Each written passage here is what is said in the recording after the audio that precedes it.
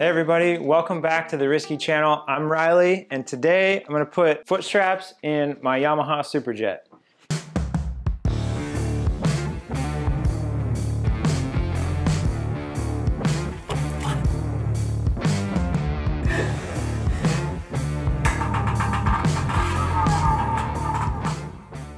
Basically, you just wanna figure out where do you want the foot strap, and then how are we gonna put it in. Most people use inserts that drill holes into your tray and the downside of that is you can get water inside your tray. Your ski gets really heavy and waterlogged. We've decided to use these adhesive studs and we just cut one in so that we can nest them together close enough to match the spacing of our Dakine foot strap. In the past, we've just cut fiberglass by hand to fit around the studs and hold everything down. But our buddy Jared laser cut these. It's gonna be awesome. So the first thing you wanna do is make sure your tray is all cleaned out and then we sand it. We just use sander like this and then we clean it with like mineral spirits.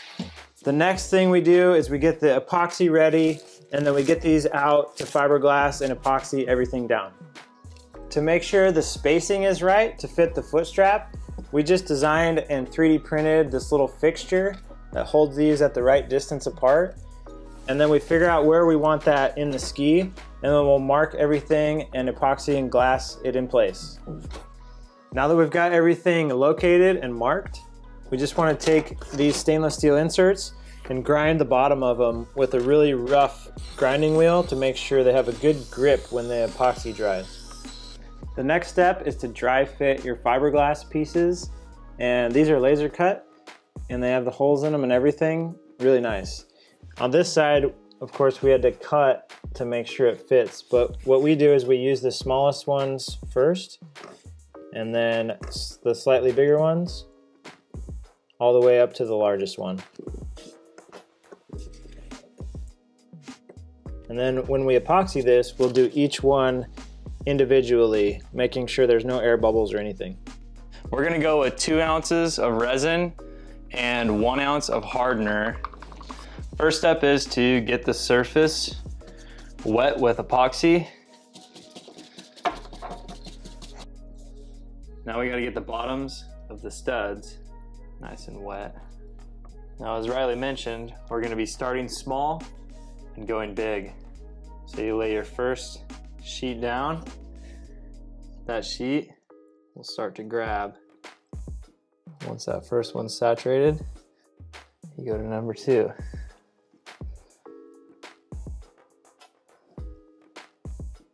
You're trying to get out any air voids because air does not help the mechanical strength.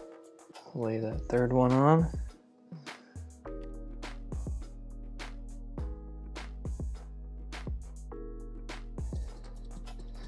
Do want to kind of wet out this surface too over here because this is going to start curing up, you know? We want to be able to ideally use all this epoxy.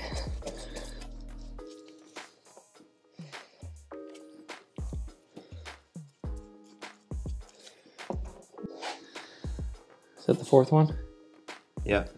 Awesome. Put the small one on here. Yep.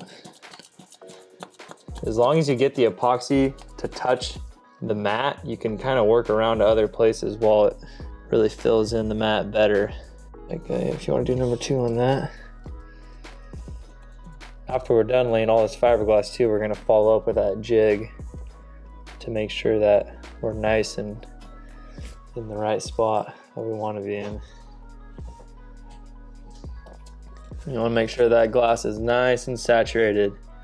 Fiberglass by itself is not very strong.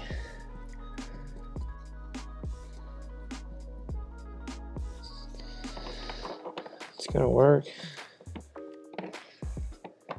Yeah. I'd say it's on the money. 10 years later. All right, the epoxy is dry on the foot strap studs. Everything is nice and tight and you can see this area of fiberglass is gonna spread that load nicely when I'm pulling on this with my foot. And a little mock-up here, I used the 25 millimeter pad with turf. It's gonna cover that stud completely. and then it's gonna have a nut on the top to hold the foot strap in. And you don't really have any threat of getting hurt by this because it's all padded and protected. So let's get the new turf cut ready. I'm gonna sand this first, get that glued in, and we're gonna finish this up. We just finished shaping the undermat and adding the kicktail underneath. So everything fits just the way that I want. We kind of put like a big chamfer here so that when we tuck the turf down, the water will be able to exit easily. And my foot strap will go right here. We've got the pad ready with the turf on it, and we're gonna glue it in. To glue down the turf, we use Weldwood contact cement. You can get it at any place like Home Depot. You really have to make sure to read the directions on the can. It takes like 10 to 15 minutes for this stuff to set up and get tacky. One of the biggest mistakes that people make is they paint it on everything and then they just stick it together and try to get it to stick. It will not work like that. You have to give it the time to get tacky before you assemble everything. Okay, we've got the glue ready. Jessica's gonna help me with extra set of hands here. We just wanna make sure that the glued surfaces don't touch each other until we're in the perfect position. Just like if you're putting a screen protector on your phone, you have to make sure it's lined up before you let it touch. Now we've got the front in place where everything looks good on the front and then we work our way towards the back.